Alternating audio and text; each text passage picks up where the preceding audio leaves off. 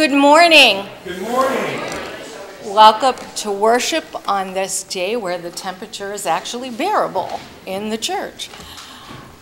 Are there any blessings we'd like to share before we begin today? I would like to come give France a gold medal for the best opening ceremonies I've ever seen of Olympic Games because of the inclusivity that they did with that. Or the, just the whole creative bit, the idea of taking it out of the stadium, using the beautiful Seine. But usually, the flame is only just a few of their own athletes mm-hmm. running it. They included 24 different athletes to carry that for the symbolism of the 2024. Mm-hmm. They used different countries. It wasn't only France. Then when they had the 100-year-old Olympian pass card that torch, I mean, it just goes on and on. I still didn't know where the torch was going. Right, I was like watching this. Well, I know, but then to have it in a big basin, then they let it go up in the Montgolfier. I mean, I just thought, this is just, this is just So this morning we give thanks for and we celebrate the inclusion and the And then, right, the. creativity and the joy.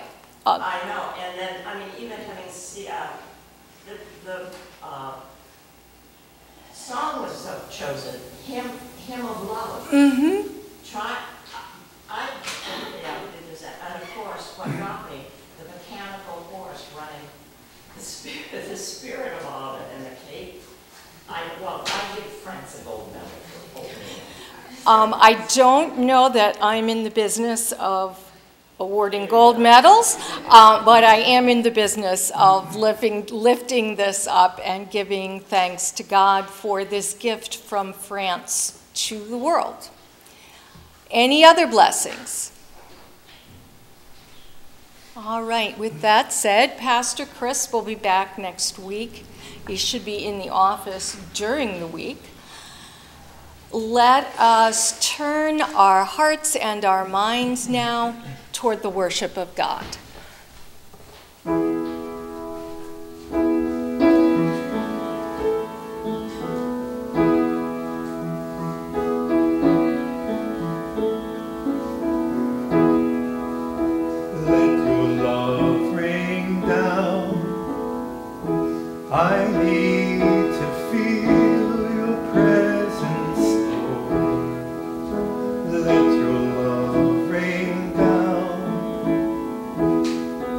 I am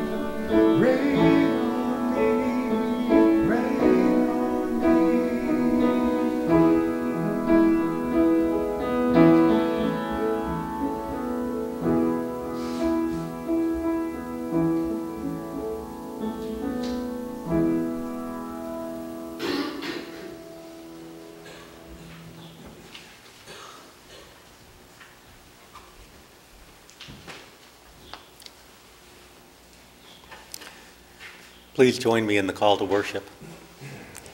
This is the day the Lord has made. God, it is good for us to be here. We're not confined to our beds today. God, it is good for us to be here. Our lungs are breathing and our hearts are beating. God, it is good for us to be here. We're here because you called us to come. God, it is good for us to be here. We're here to see the view from the mountaintop. God, it is good for us to be here. We're here to get strength for the valley. God, it is good for us to be here. This is the day the Lord has made. We're here to rejoice and be glad in it. Let's sing the first two verses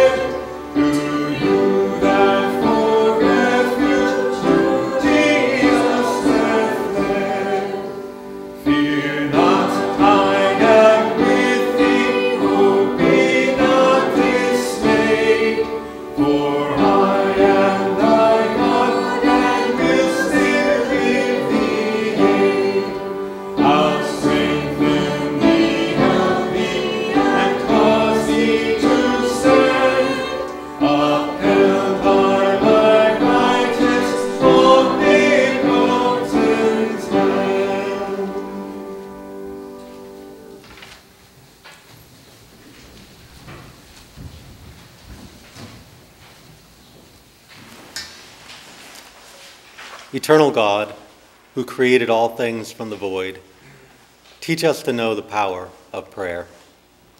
Fill us with your peace and your love. Fill our darkness with your light. Fulfill in us the potential for which we were born and were called into your church. We pray in the name of Jesus Christ, who sought your presence even in the rush of life. Amen.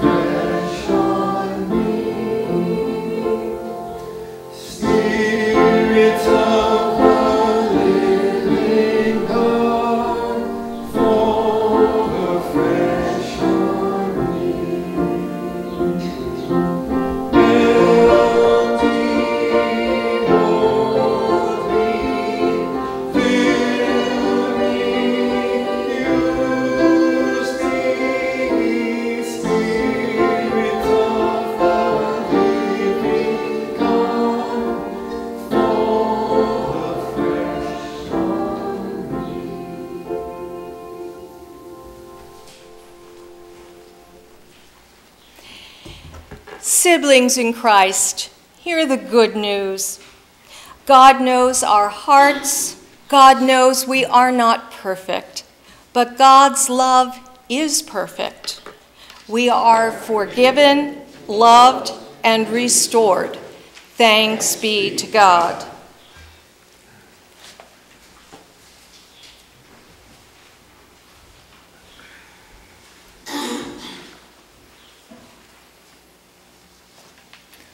Our first scripture reading this morning is Philippians 4, verses 6 and 7. Do not worry about anything, but in everything, by prayer and supplication, with thanksgiving, let your requests be made known to God. And the peace of God, which surpasses all understanding, will guard your hearts and your minds in Christ Jesus.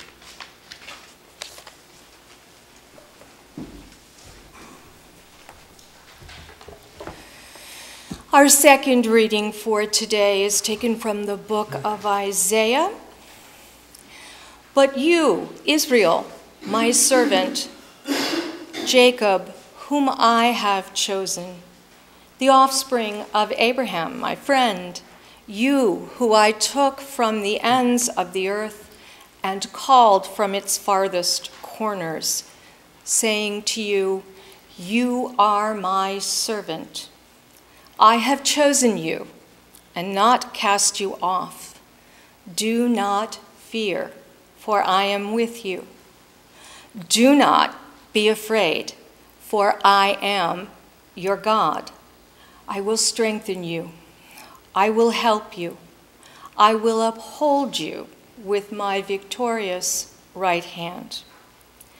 All who are incensed against you shall be ashamed and disgraced. Those who strive against you shall be as nothing and shall perish. You souths shall seek those who contend with you, but you shall not find them. Those who war against you shall be as nothing at all. For I, the Lord your God, hold your right hand it is I who say to you, Do not fear, I will help you. Now let us say together, For the word of God in Scripture, for the word of God among us, for the word of God Thanks be to God.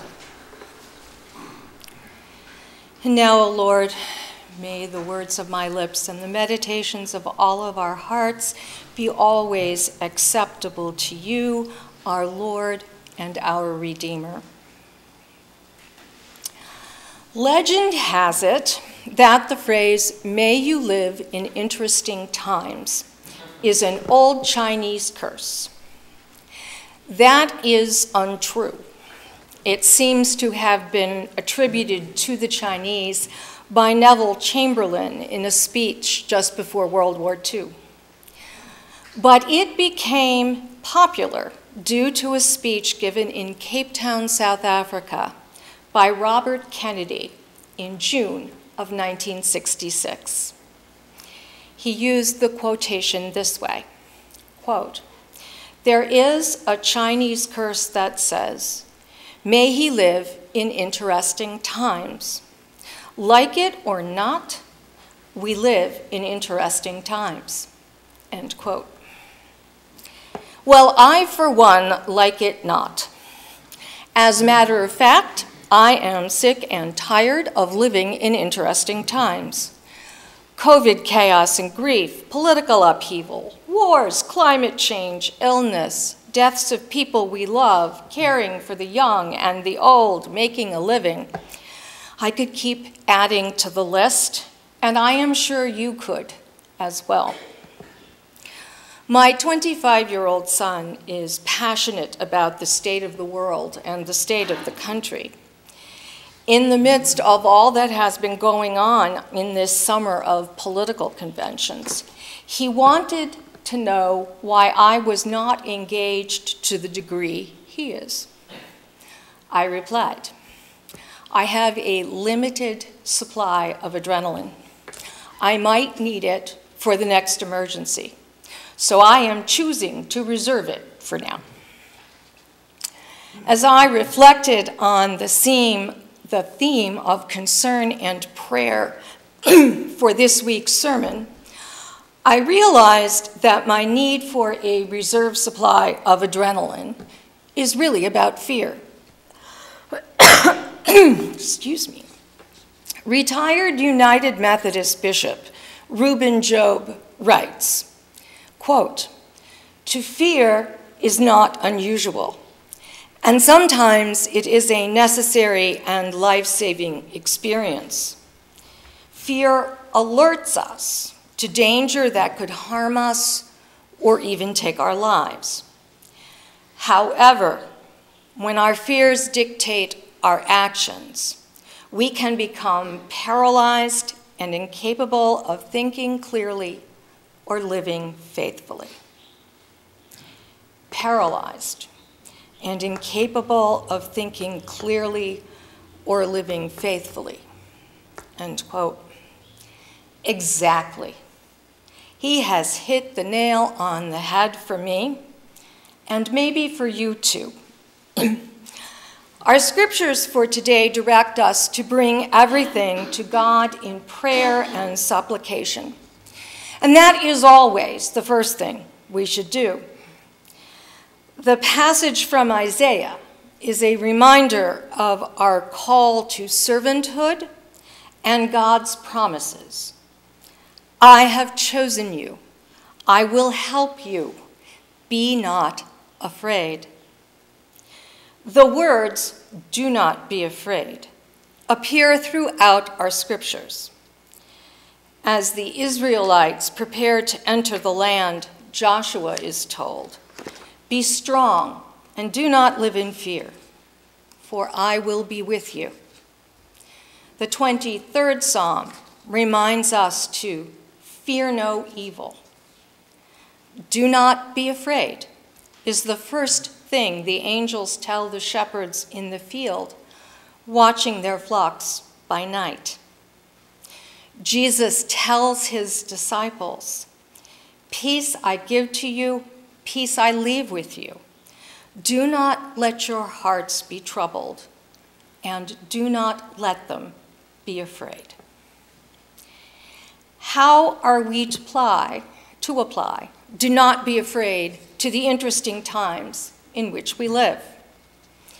Robert Kennedy observed that interesting times are, quote, times of danger and uncertainty, but they are also more open to the creative energy of men than any other time in history, end quote. Fear is the first reaction to times of danger and uncertainty.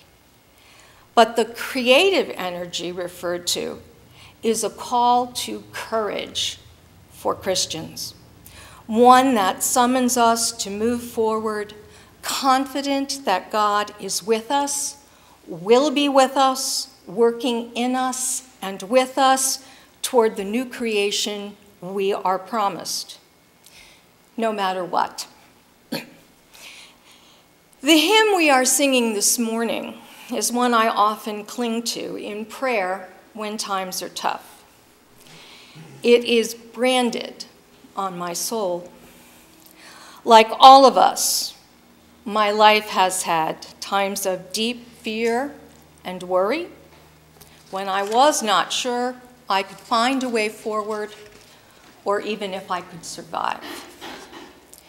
When through the deep waters I call thee to go, the rivers of woe shall not thee overflow. When through fiery trials thy pathway shall lie, my grace all sufficient shall be supply. That soul, though all hell shall endeavor to shake, I'll never, no, never, no, never forsake. These are promises God made and kept. I have sung the entire hymn silently or aloud in so many places and at so many times in my life. It gives me courage and reminds me to whom I cling when hoping is hard and courage is far from me. I also find courage in the strength of the community of faith. One of the great privileges in my ministry is hearing your stories and knowing how brave you are. in a congregation I served years ago. I found myself one Sunday morning looking from the pulpit at the faces I knew and loved in the congregation. There was much division and many hurt hearts. I looked out at the congregation thinking, if only you knew that person sitting on the other side of the pews who you are angry with. If you only knew what that person is carrying and how very brave they are, you surely could not be angry with them. Of course, the things shared with me are shared in confidence, and I could not and will not violate that trust. But I remember this instinct, this insight, when I stand in front of this or any other congregation. Your courage to live faithfully in interesting times helps me to find my own. And I hope you find that same courage in God and in one another. That is one of the great gifts of life in a community of faith. Whether or not we like living in interesting times, here we are. Whatever lies ahead will require our courage and our hope in Jesus and in each other as the ones he has called for the sake of the world.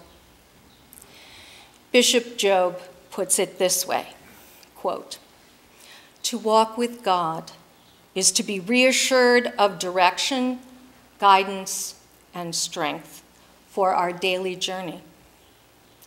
What do we have to fear when we are in God's presence and care? Nothing at all. It does not mean that we will be spared discouragement, disease, or death itself. It does mean that we will never be alone. It means that we will be given strength to the demands of our daily lives. It means we will receive wisdom to judge wisely and well in the direction we must take.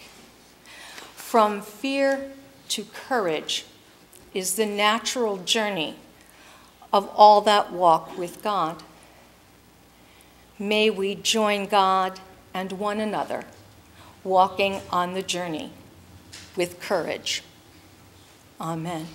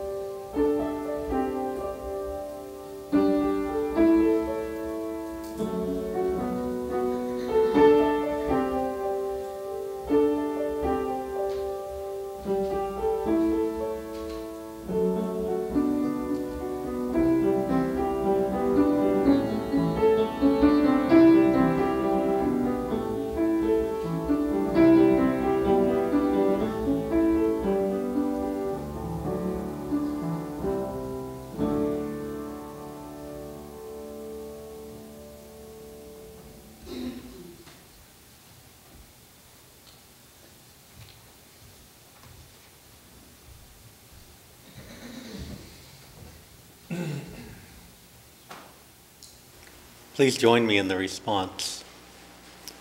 O oh God, because you are the source of all life and love and being, we call you Creator. Because we know the history of your presence among your people, we call you Lord. Because our Savior, Jesus Christ, your obedient child, knew you intimately and spoke of you so, we call you Father. Because you are present in the act of birth, and because you shelter, nurture, and care for us, we call you Mother. Because you hold us up and give us strength and courage when we are weak and in need, we call you Sustainer. Because we know beyond pain lies your promise of all things made new, we call you Hope. Because you are the means of liberation and the way to freedom, we call you Redeemer. Confident that you will hear, we call upon you with all the names that make you real to us, the names that create an image in our minds and hearts, an image that our souls can understand and touch. And yet, we know that you are more than all of these. Blessings, Blessings and power, glory and honor be unto you, our God. Amen. And now let us bring our gifts before God. In Christ, we have a love that will not let us go. Through an offering, let us share this love in our community and to the ends of the earth.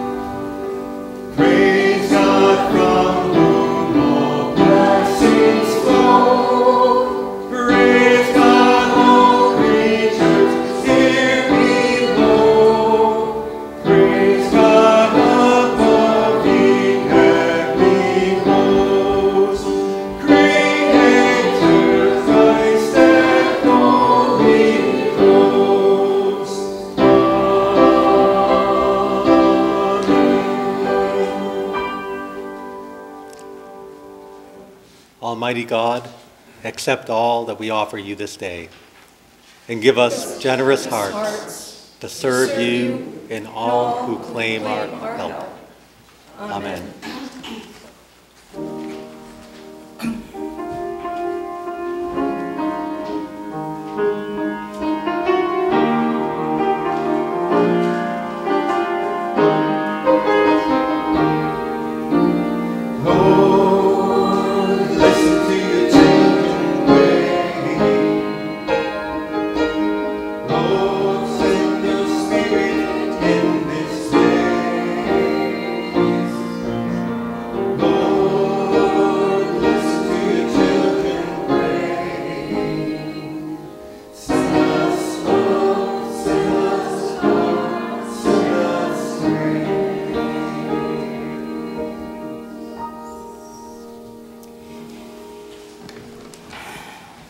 Let us continue together in the spirit of prayer. Good and gracious God, we come before you this morning seeking strength and courage for the days ahead. We pray for courage to be the people who you have called us to be, people who seek justice and peace through your love for all your people.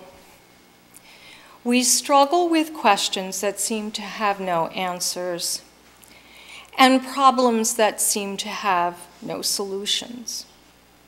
So many seem divided and at war with one another, either through words or worse, through guns and killing. Surely, Lord, we humans must test your patience. But we know that your love is all encompassing and always forgiving. We know and struggle with our imperfections and our shortcomings, knowing that you are always there waiting for us. You are our hope for ourselves and for the world. And, in it, and it is in this hope that we live and move and have our being. Oh God, this morning we lift up those in our congregation who are sick or hurting in any way, especially Carol, Marie and John, Ed, Ellen, and all those whose names we lift up aloud or silently in our hearts.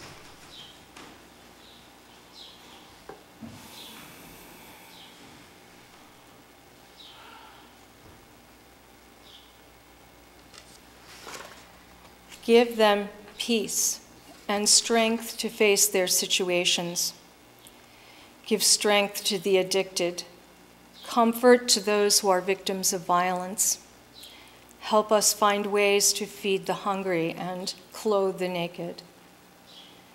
We also lift up those who are bullies, persons who are perpetrators of harm and violence, those who feel the need to put others down through name calling and jokes. They too need your love and healing. We ask your blessing and protection for all those competing in the Olympics and those attending. Help us to see and celebrate the talents of these athletes. In that celebration, may we see the possibility of hope, compassion, and love for one another. O oh God, we ask you to help us be change agents in this world, your ambassadors of hope. Give us courage to speak out about our faith, to teach those around us about your love for all people, and to lead by example. We pray these things in the name of Jesus, who taught us to pray. Our Father, who art in heaven, hallowed be thy name. Thy kingdom come, thy will be done, on earth as it is in heaven. Give us this day our daily bread, and forgive us our debts as we forgive our debtors and lead us not into temptation, but deliver us from evil. For thine is the kingdom, and the power, and the glory forever. Amen. Please join in our uh, closing hymn, How Firm a Foundation. We'll sing verses 3, 4, and 5.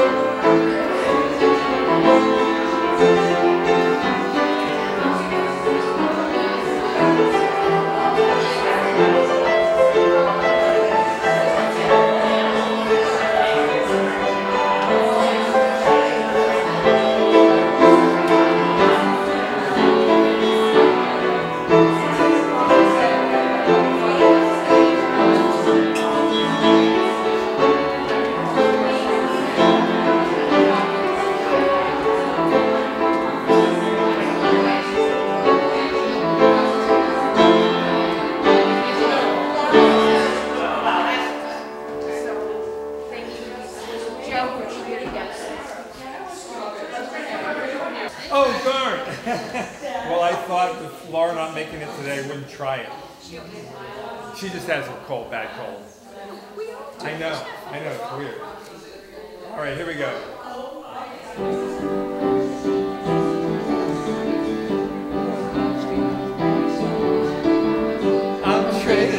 sorry.